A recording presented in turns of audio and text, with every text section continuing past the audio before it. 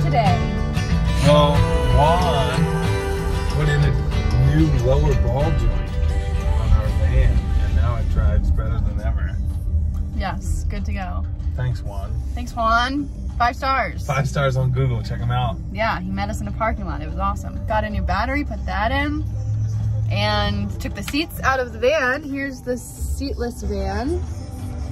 And tomorrow, tomorrow's Home Depot. Tomorrow's Home Depot. and tomorrow we'll build the bed.